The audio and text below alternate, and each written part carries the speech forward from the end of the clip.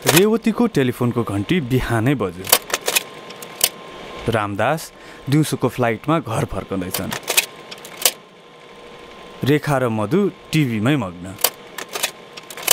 सधैँ झै पोखरीमा भेटिए पौडन तयार राजु काक्रो खाँदै पूर्णिमा दिदी र यो सबै हेरिरहेकी निलु। यहाँको दिनचर्या काठमाडौँको भन्दा खासै फरक छैन तर यही दैनिकीलाई यहाँ भने कलामा उतारिन्छ। दिनदिनैको मन्डेनमा रङ भरिन्छ। हरियो पहेँलो बैजनी गुलाबी रानी र छर्ने काम गर्छन् यहीँका आमाहरू दिदीहरू। यही रङ्गमा मुछिन उपत्यकाबाट दक्षिण लागेर यसपालि फच केप आइपुग्यो जनकपुर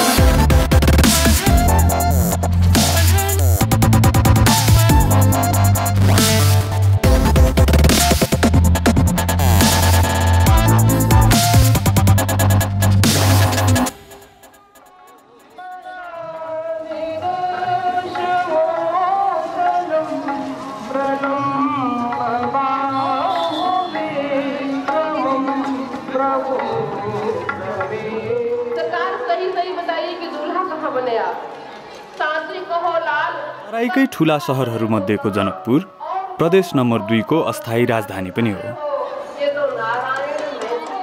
ट्वेन्टी फोर सेभेन कीर्तन हुन्छ यहाँ?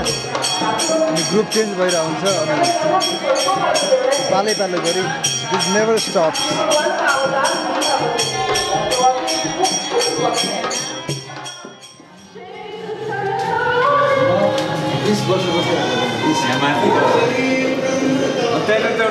त्यो साँच्चीको ख्याल ख्याल सकेन खास गरी जनकपुर धामको लागि प्रख्यात भए पनि यो रङ्गीन सहरको विशेषता मात्र एउटा मन्दिर भन्ने पक्कै होइन। नेपालभरि झैँ यहाँ पनि सांस्कृतिक विविधता त छँदैछ साथसाथै छ सङ्गीत कला र दैनिकी बीचको बेजोड सङ्गम। देशका यस्तै विभिन्न ठाउँहरू घुम्दै त्यो ठाउँको कम्युनिटीसँग इन्टरेक्ट गर्दै र त्यहाँको संस्कृति रहनसहन एक्सप्लोर गर्दै कला सृजना गर्ने अभ्यास नै फर्स्ट स्केप हो। म Rohit Shakya Kathmandu based music producer director म चाहिँ Rajan singer songwriter music producer र यसपालि हामीसँग कोलाबरेट गर्दै हुनुहुन्छ रञ्जन दाई। मेरो नाम रञ्जन झा। अहिले काठमाडौँ बेस्ड म्युजिक प्रड्युसर र डिजे पनि हुँ म। म जनकपुरमै जन्मे हुर्केको अनि म्युजिक क्यारियर नै जनकपुरमै स्टार्ट भयो। र यो फोटो चाहिँ मेरो फर्स्ट पर्फर्मेन्स काठमाडौँको किर्तिपुरमा।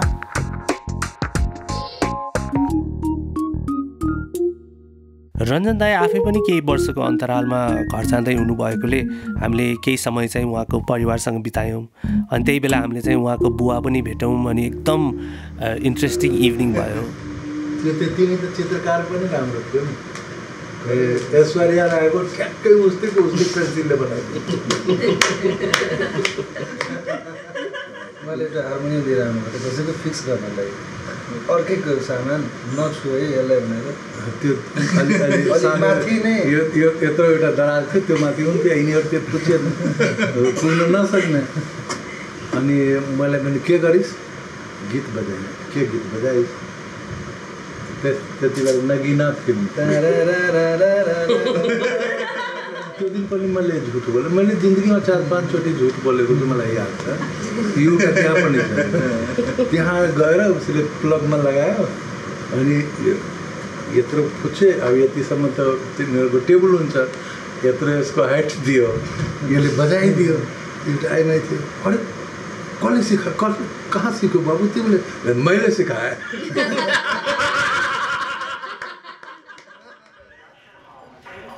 त्यसै गरी दिनदिनै जसो उहाँको म्युजिकल जर्नीका कथाहरू सुन्दै सङ्गत भयो उनका अन्य साथीहरूसँग।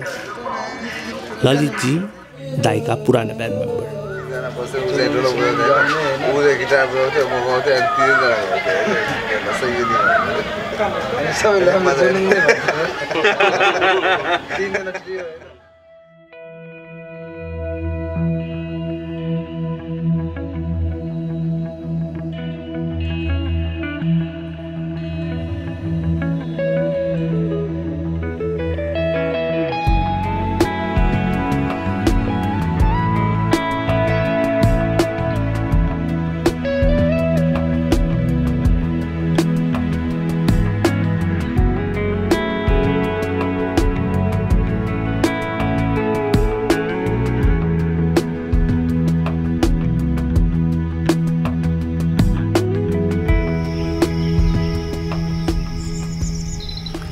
अप्रिलमा तराईमा गर्मी हुनु स्वाभाविकै भयो।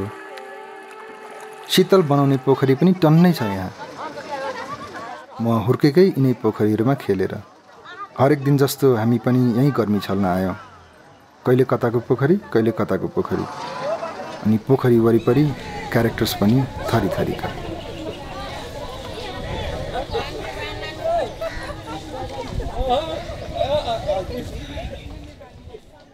एक दिन चाहिँ हामीले पत्रकारहरू अनि यहाँको आर्टिस्टहरूसँग सानो भेटघाट कार्यक्रम राख्यौँ यहाँको कलेजमा।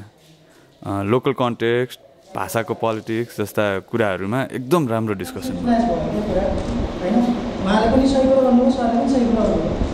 भाषा के त? मैथिली के यसलाई छोडिदिएछ किनभने यहाँ जातीय र राजनीति बढी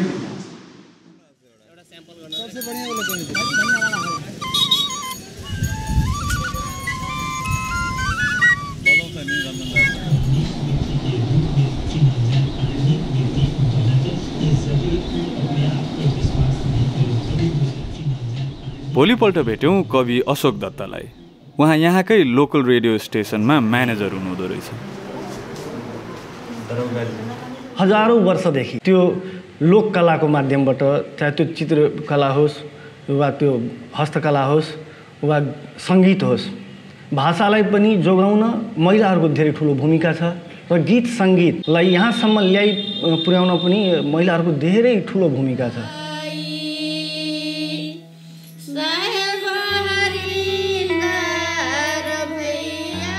पुराना गीतहरूको खोजीमा हामी पुग्यौँ जेडब्लुडिसीमा जनकपुर नारी विकास केन्द्र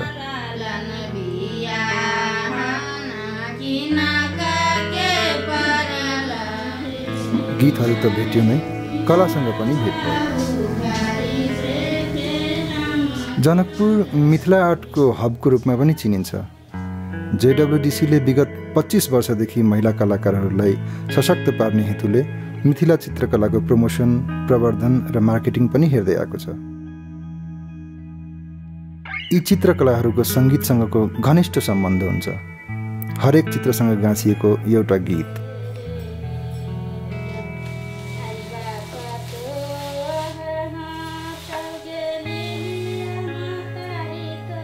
पुराना किम्बदन्तीहरू मात्र होइन मिथिला चित्रहरू त अहिलेको डेली लाइफ झल्किने खालको पनि हुँदो रहेछ।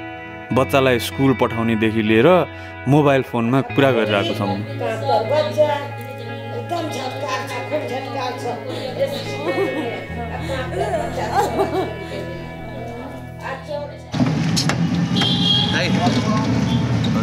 अब हामी रुममा स्टुडियो सेटअप चाहिँ कहिले गर्छौँ?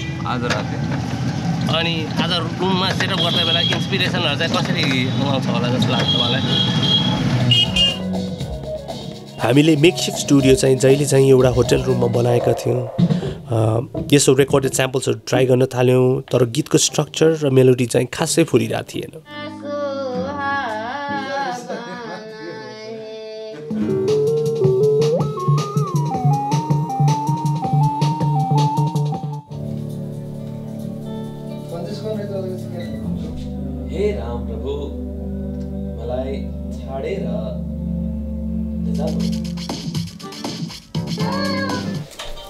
यहाँ बनाउनु पऱ्यो नि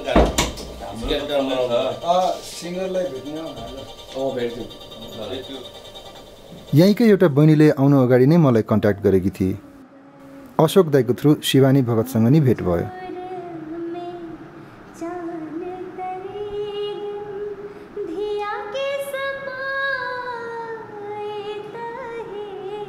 म बाह्र वर्ष हुँदादेखि गीत गाइरहेछु।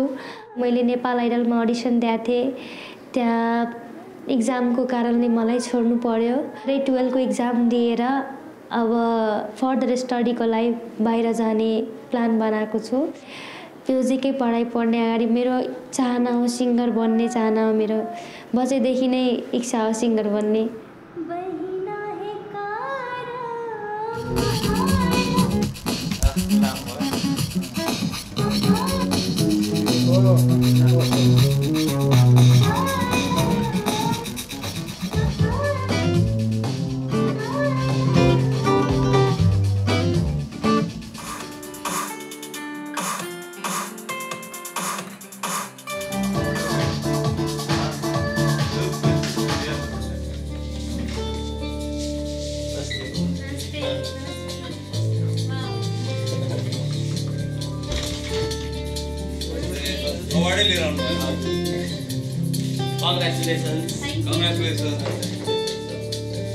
उन्मुक्त एउटा केटीको भावनालाई त्यसमा राखिएको छ जसलाई कुनै किसिमको भय पनि छैन त्रास पनि छैन डर पनि छैन भित्रका उमङ्गहरू एकदम प्रस्फुटित भइरहेको छ आश पलाएको छ यो दुनियाँ मेरो हो यो संसार मेरो यो प्रकृति सबै मेरै हो भन्ने एउटा फिलिङ एउटा गुड फिलिङ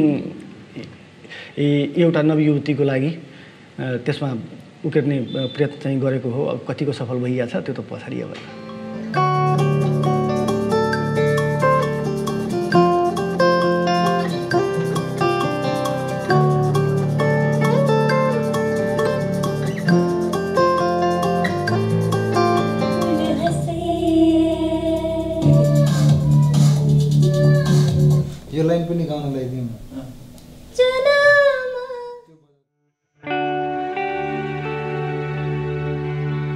संस्कृति ठोस हुँदैन तरल रहन्छ।